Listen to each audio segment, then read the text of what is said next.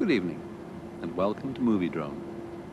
Tonight's film is Sunset Boulevard, directed in 1950 by Billy Wilder.